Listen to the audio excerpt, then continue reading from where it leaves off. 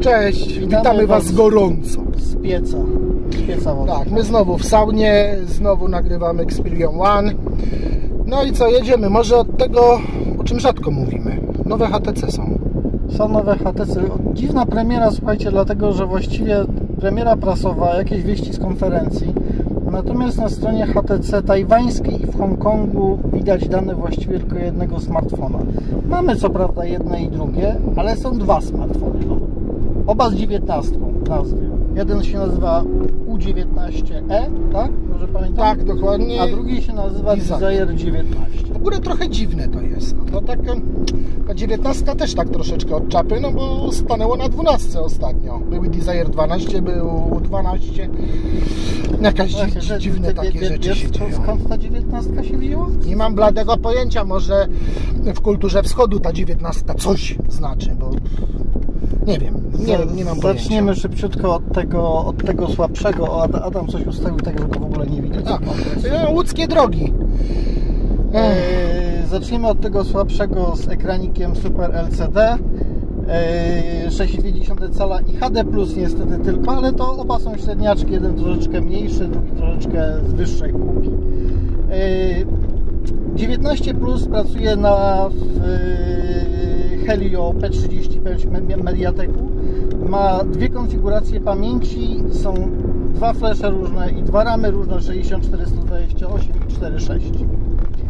E, Bateryjka prawie 4000 mAh bez 120 mAh, czy, czy, czyli niedużo mu brakuje. E, Z tyłu trzy aparaty 13, 8 i 5, z przodu 16 megapikseli. E, Adaś przeliczył ceny na polskie z, z polskiego. Nie damy rady dzisiaj po prostu. Słuchajcie, ten upał, czekajcie, ja tu coś podłożę może. E, kurde, Z, po, z polskiego O, w nasze, ogóle się o, zna. no, będziemy mieli widok lotniczy. Dobra. Nie, jest nieźle, spoko, spoko. A Jezu. Yy, Adaś wyliczył ceny z yy, waluty tajwańskiej, jeżeli dobrze Z pamiętam. tajwańskich dolarów. Yy, Na 1189 za tą tańszą wersję z mniejszą pamięcią i 1320 tą troszeczkę droższą. Natomiast y, U19e ma już wyświetlacz OLEDowy, troszeczkę fajniejszy y, i Full HD+, czyli lepszą rozdzielczość. Pracuje na Snapdragonie 710 z bateryjką 4000 mAh. Jedna tylko konfiguracja pamięci, przynajmniej do tej pory, podana 128 GB flasha i 6 GB pamięci RAM. Y, Bateryjka, co fajne, ma szybkie ładowanie Quick Charge'a 4, bo to Snapdragon. Y, Układ jest dwa aparaty z tyłu fotograficzne, dwa aparaty z przodu. Z tyłu jest 12 plus 20, z przodu 24 plus 2 megapiksele i całość kosztuje gdzieś w okolicy 1800 zł. Również w przeliczeniu w, z tajwańskich dolarów, tak? Tak, tak. Dawno w Tajwanie nie byłem, nie pamiętam czym oni tam płacą. Dolary, dolary. DWD, skrót waluty.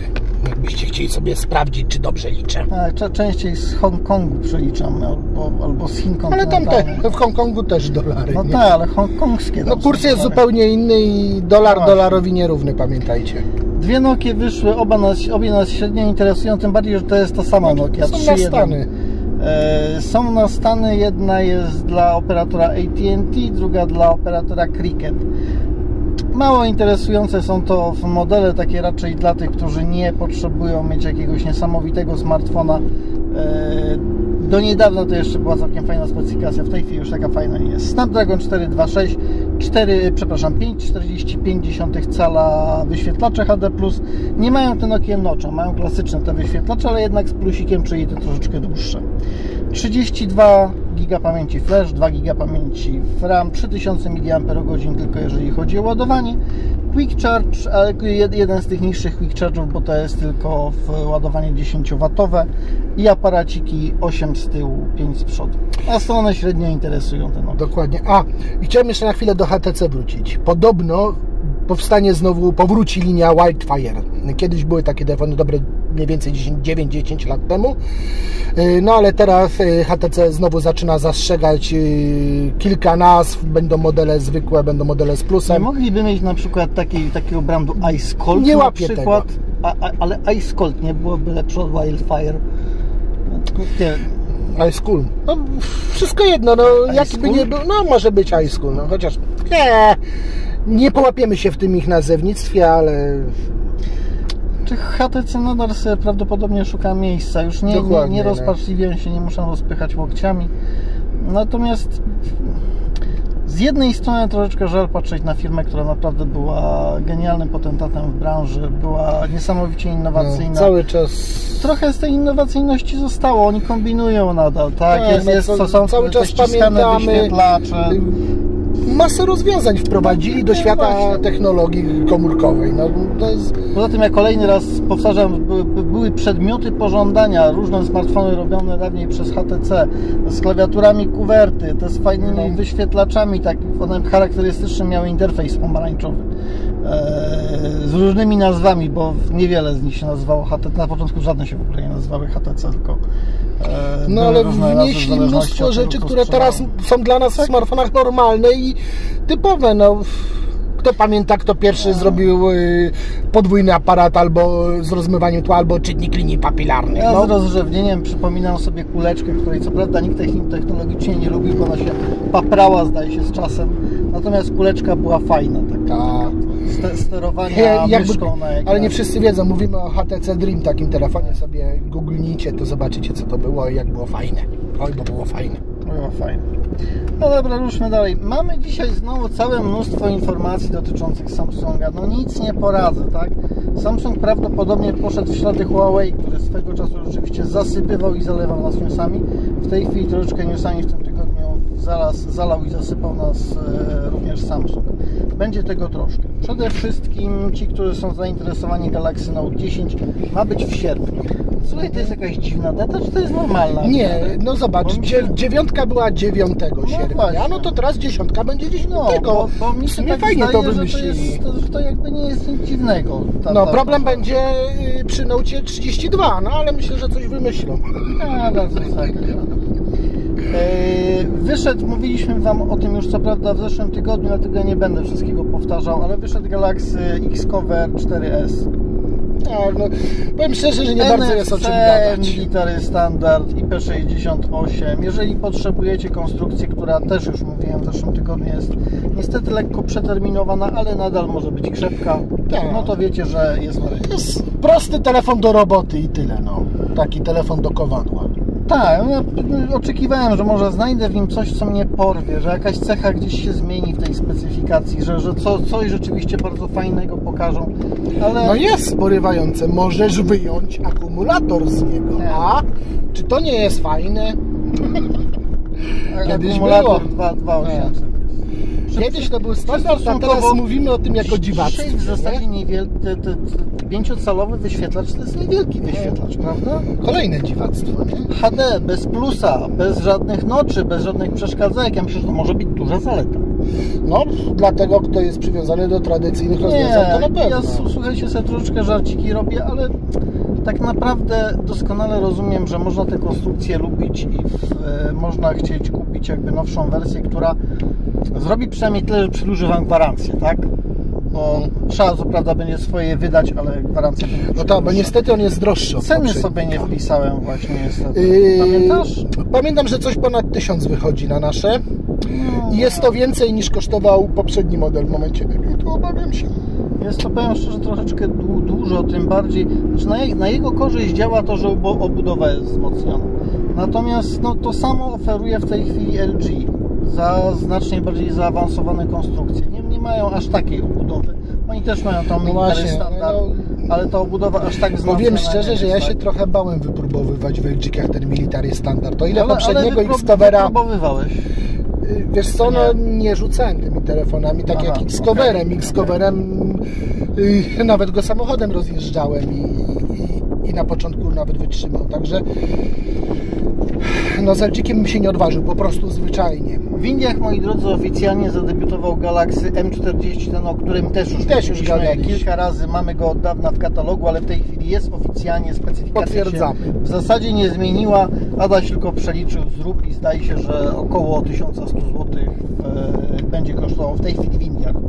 W Indiach, Mówię o złotych w Indiach, bo to nadal przelicznik jest na żywca. E, Samsung zaprezentował fajnie wyglądający patent również na mm, smartfona z elastycznym wyświetlaczem, tym razem zwijanym. E, musicie zobaczyć na obrazkach, bo trudno, trudno jest dokładnie w tej chwili wytłumaczyć, jak to wygląda, ale globalnie rzecz biorąc, to ma działać troszeczkę na zasadzie slidera, tylko że prostego. Telefon ma się wysuwać. Rozsuwa się jakby ten ekran. Ekran, który jest zawinięty pod spód, wysuwa się razem z telefonem. Ja tutaj widzę dwa problemy. Po pierwsze, to nadal są wyświetlacze bardzo delikatne. Będzie potrzebna e, fajna folia, która będzie zapobiegała rysowaniu no, się. Dokładnie, tu wytrzymaność mechaniczna, kurczę. A rysować się niestety będzie, dlatego że, no wyobraźcie sobie to, w jaki sposób będzie sprężynowo jak- zrobione, no. bo to się będzie musiało przy składaniu nawijać ten ekran tam pod spód. Jak oni Przy rozwiążą... nawijaniu się po prostu Dokładnie, paprochy, no. paprochy. Jak oni rozwiążą uszczelnienie tego? paprochy. Dlatego im szczelniejsze, tym większe zarysowania ekranu. Im większe zarysowania ekranu, tym potrzebniejsza, po- porządniejsza No i to- A paprochy w środku i tak są. i tak A jak są. będzie nieszczelne, to znowu szybciej się zabrudzi i zablokuje może, może jakiś system czyszczący, może jakieś Wiecie co? szczotki zainstalujemy. Myślę, że to jest taka wprawka, to jest taka próba poszukiwania czegoś nowego i raczej, raczej wydaje mi się, że nie ma co liczyć na pojawienie się mamy nadal takiego. problemy z tymi elastycznymi wyświetlaczami. Czekaliśmy dwa lata dobre, zanim w ogóle producenci się zabrali do wykorzystania tego, zanim się pojawiły możliwości technologiczne. Jak się pojawiły możliwości technologiczne, to okazało się, że producenci właściwie wykonali falstart. Dlatego, że w, e, konstrukcja Samsunga przynajmniej w pierwszym ogniu walki się nie sprawdziła. Dzisiaj z kolei dziwne dwie informacje. Z jednej strony jest informacja, że Mate X będzie opóźniony, z drugiej strony jest informacja, słuchajcie, że będzie na czas i że za moment zadebiutuje. Ja powiem szczerze, zgłupiałem troszeczkę bo w, doszło z dwóch stron. Ze Stanów doszło, że będzie opóźniony, a ze strony Chin doszło, że a właśnie, że za moment będzie gotowy do premiery. Nie mam pojęcia, czy będzie, czy nie będzie. Musimy poczekać, zobaczymy, co to będzie z tego. Natomiast kontynuując Fold. kwestię w Samsunga. Tak, a w, z, Foldem co? Bo Właśnie, też wyskoczyła informacja jest- o premierze i też znowu jest przesunięta. Miało być, już, już było prawie, że pewne, że będzie w lipcu. No ale AT&T amerykańskie już poddawało klientom, czy tam zaczęło oddawać klientom pieniądze, no którzy no bo zamówili przez sprzedaży. czas, I no dzisiaj się pojawiły informacje, że no raczej z, w lipcu nie będzie, a kiedy będzie nie wiadomo, może się okazać, że dopiero y, na początku y, września na targach IFA wraz z pojawieniem się Note 10 mniej więcej, albo i też nie. Znaczy ja, ja powiem szczerze, że opuściłem sobie już w tej chwili ten poziom hypu dotyczący elastycznych wyświetlaczy w ogóle. Poczekamy po prostu. Okazało się, według mnie przynajmniej, okazało się, że to jest nadal jeszcze troszeczkę za wcześnie.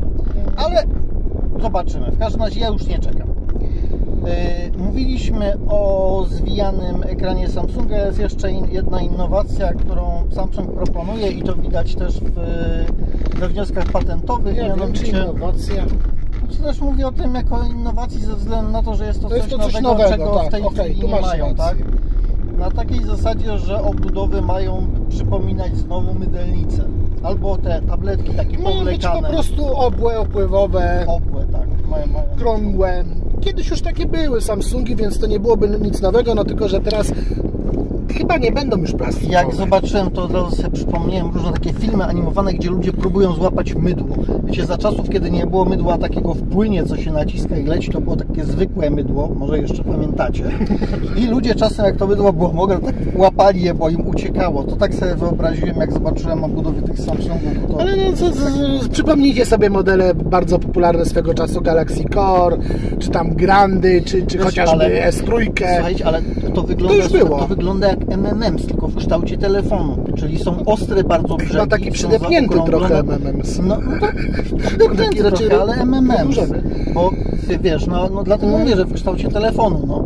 No. A, ta, takie MMM w kształcie telefonu, ciekawe. Kształcie telefonu. Jak wyobraźcie sobie MMMsa w kształcie telefonu, takiego dużego MMMsa, to, to mniej więcej będziecie mieli jak ten kształt wygląda.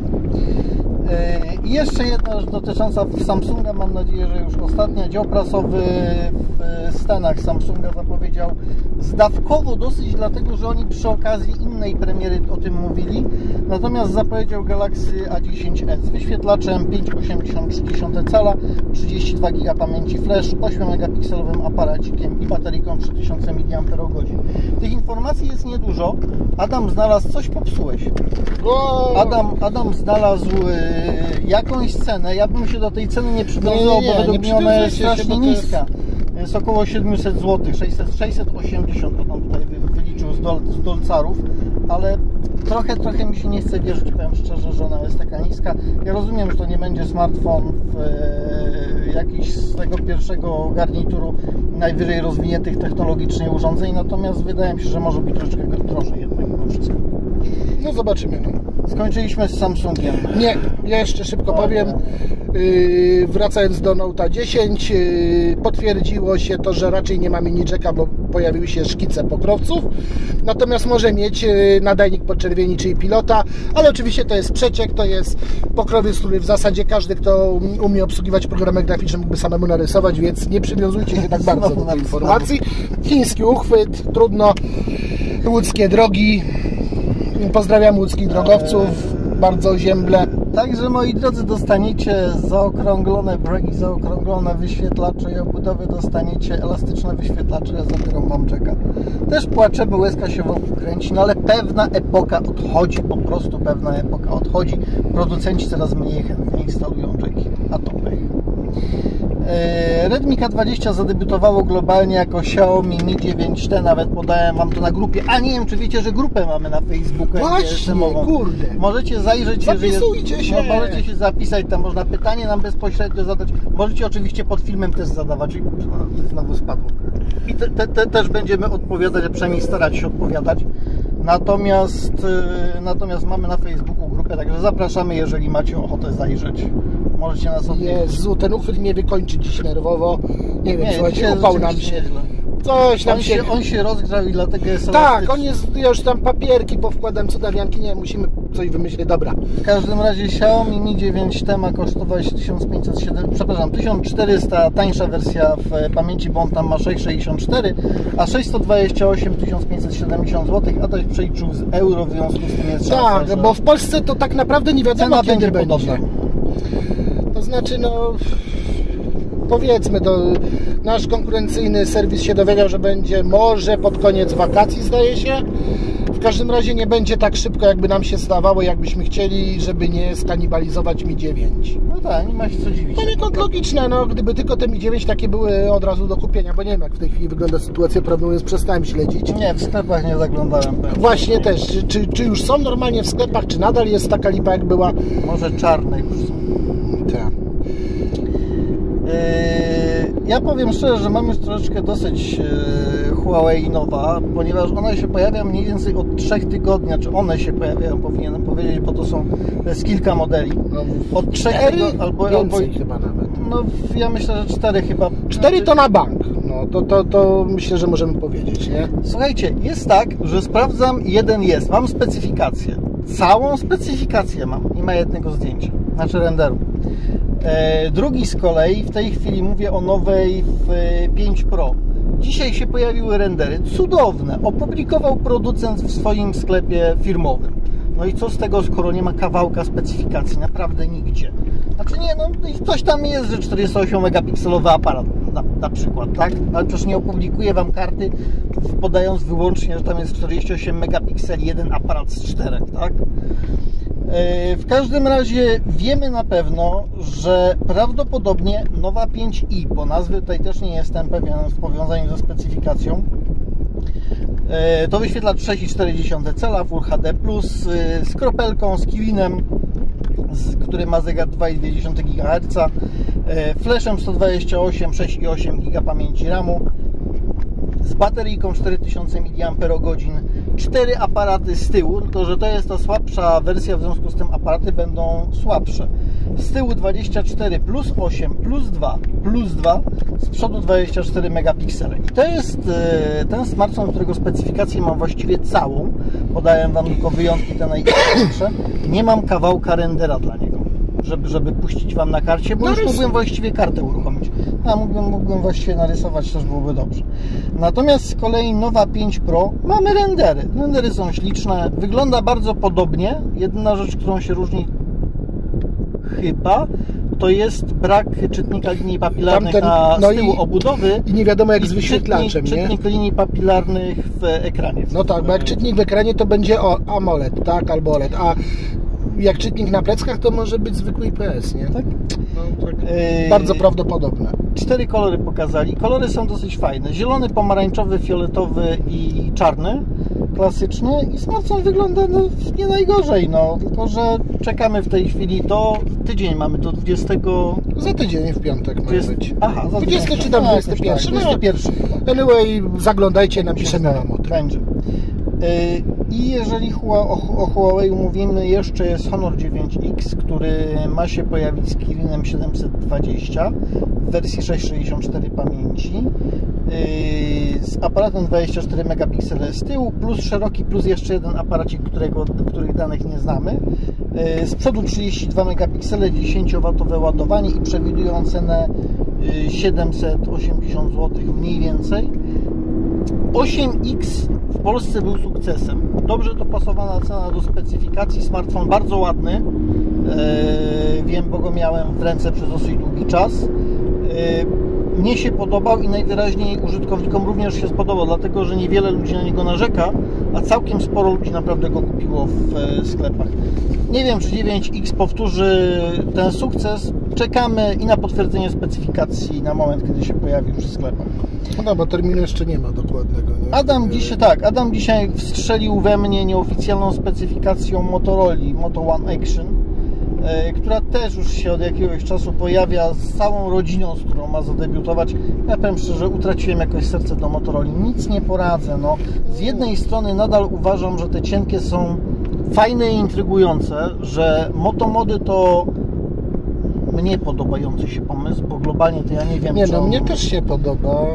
No, Gdyby nie cena, to Mnie się szczególnie podobał z tym Hasselblattem. no, mi się Jak projektor podobał, ale no, naj, najtańszy obiektyw Hasselblata obecny na rynku to Mhm. właśnie ten w motomodzie do Motorola.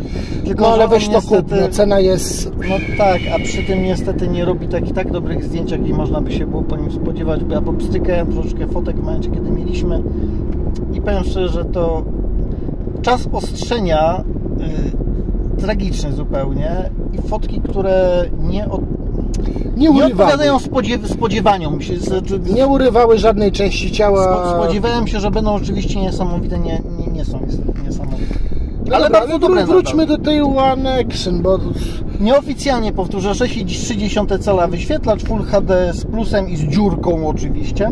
E, To co podkreślaliśmy w tych nowych Motorolach Exynos 9609 i to dla, dla mnie osobiście jest zdziwienie, bo najwyraźniej nie śledzę tego jak przebiegają e, drogi handlowe pomiędzy Koreą a w- Chinami.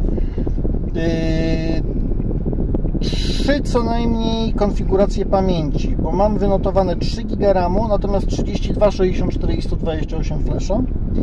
E, Bateryjka 3500 mAh.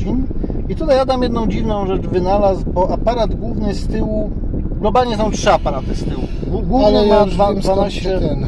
co co? No, no mów- powiedz, a ja... wtrącę. 12,6 megapiksela z tyłu plus dwa inne i z przodu też podobno 12,6 megapiksela i NFC tego. Ale dzisiaj się pojawił render, na którym ta One Action wygląda praktycznie tak samo jak. Motorola One Vision znana już. Identycznie, tak. Yy, Z tą różnicą, że ma jeszcze dłuższą oprawkę na aparat, no bo ma jeszcze jeden dołożony obiektyw. I kurczę, tak się zacząłem zastanawiać, no skoro yy, One Vision yy, ma aparat 48 mega, to może One Action też ma, a ta rozdzielczość 12 to tam wyszła yy, A, przez tego na przez cztery, łączenie, tak? tak, przez łączenie pikseli i możliwe, że jakiś benchmark by rzucił 12 i stąd ta informacja. Tak, to jest możliwe. Jest to bardzo prawdopodobne, a ten dodatkowy obiektyw, y, którym się będzie One Action różnić od One Visiona, y, będzie szerokokodny, tam bodajże 117 stopni, ile dobrze pamiętam. Ja nie mam pamięci do cyferek, ale jakoś tak mniej niż 120 z tego co pamiętam. Y, Szeroki kąt będzie. No i dodatkowa matryca pewnie jak zwykle do rozmywania tła, a wszystko to nazwali Action Cam, więc się zastanawiam, co tam jeszcze dołożą. Może, może optyczną stabilizację. Czuję, czuję się dzisiaj jakbym filmował z ręki, słuchajcie, jak tak trzymam, ja trzymam przez cały czas tą naszą oprawkę, że nam Tak, ja kolejny raz serdecznie nie pozdrowię łódzkich drogowców z głębi mojego zawieszenia. Co tam drogowcu? Tutaj chodzi o producentów tego, tego, trzymaka. A nie, no... Trzymak powinien uchwyt trzymać, to- od tego jest trzymak. Tak, ale uchwyt się już widocznie wysłużył, chociaż jest markowy pewnej firmy. No, nie powiem jakiej. Je, jeszcze, jeszcze jedną plotę Adam wycią, wyciągnął w tym tygodniu. Szukał, szukał, aż znalazł miłośników renderowania różnych fajnych obrazków i znalazł Sony z sześcioma aparatami fotograficznymi. Aha, ta, to jest dobra akcja. Eee, ja nie wiem, czy Sony się zdecyduje na tak. No, Nie wiem, jak to nazwać. Nie chcę powiedzieć rozpaczliwy. Tak wyjątkowy ruch, żeby się wyróżnić wśród innych producentów smartfonów. Nie sądzę. Mam nadzieję, że tam zaprotestują przede wszystkim styliści. Chociaż z drugiej strony pojawiły się na przykład e, rendery Mate'a no, najnowszego, zdaje się, tak? Jeżeli dobrze Tak. pamiętam. Z czterema aparatami, z jeszcze dziwniejszym modelem Pixela, aparatu. Pixela. Czy o Mejcie mówisz? Nie, e, o Mate'cie mówię. A, Mate, bo jeszcze bo Mate- piksele są też, które wyglądają jak A, iPhone. i te, temu Mate'owi na Eee. tym renderze zrobili przednie aparaty takie, jakie są w Samsungu S ostatnim. Także ostatnio Wam pokazywałem e, najnowszego Huawei'a jako Samsunga, bo tak wyglądały rendery. A w tej chwili można było dziesiątkę pokazać z plusem jako najnowszego Mate'a. Bo to też tak wyglądają rendery. Tym, tym razem, żeby wyrenderować e, Mate'a, pożyczyli sobie dziś 10 plus po prostu, tak jak poprzednim Nie, no to są jaja po prostu. P30 Pro wypożyczyli, Więcej obiektywów. Ja nawet tak zacząłem się zastanawiać, po jakiego grzyba tyle obiektywów w tym Soniaku. No, wymyśliłem, tak? To się da zrobić. Ja bym tam jeszcze ze dwa upchnął No, i, i nadal by się Fajnie. to dało, y, że tak powiem, jakoś przeznaczyć. Tak. Nie wiem, nie wierzę, że coś takiego zrobią. Ale Wiesz, w Niemczech by mieli fajnie jakby tak zapromować. Sexcam. Sexcam. A, Sexham byłoby niezłe, tak. Ale wyobraź sobie, wchodzisz do magazynu i widzisz, że kurde nie masz już gdzie magazynować tych nowych smartfonów, a pół magazynu zajmują się dwumegapikselowe aparaty. No to co robisz? Zatrudniasz dwóch facetów z No łopatami. Oni, oni z tymi łopatami te aparaty na linię produkcyjną sypią i tam się dokłada typu te 2 megapiksele do każdego. no, można, da się. No i robisz jeden, jeden do wideo, drugi do makro, trzeci do rozmywania, już masz trzy zeszły, nie? Na jeden telefon. Tak. Także, kurczę, jakbyśmy zaczęli telefony produkować, to panie. Tymczasem z rozgrzanego do czerwoności wnętrza Adasiowej Alfa Romeo, o, o, nawet hamulce piszczą. Wszystko już, kurde, od tego upału. Żegna, żegnamy Was serdecznie, życząc Wam tego, czego sobie życzycie. Albo pięknej pogody i wypoczynku, jeżeli jesteście na urlopie, albo litościwej klimy i pogody, jeżeli jesteście w pracy, jeszcze na urlop nie pojechaliście. Wszystkiego dobrego, słuchajcie, miłego weekendu. Żegnamy się z Wami, dziękując oczywiście za wszystkie komentarze, za e, suby, za lajki. Bądźcie z nami za dwa tygodnie. Za dwa tygodnie, bo za tydzień mamy długi weekend. Gdybyście jeszcze nie wiedzieli, mamy nadzieję, że pogoda wytrzyma. Wytrzymacie. My jedziemy wypocząć Ja wiem, i że tego będzie samego wam, wam bardzo trudno, ale dacie sobie bez nas radę. Wierzę. Przeżyjecie. Trzymajcie się. Do zobaczenia, cześć.